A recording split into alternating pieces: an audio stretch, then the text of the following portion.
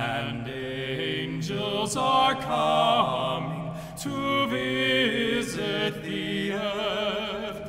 We'll sing and we'll shout with the armies of heaven.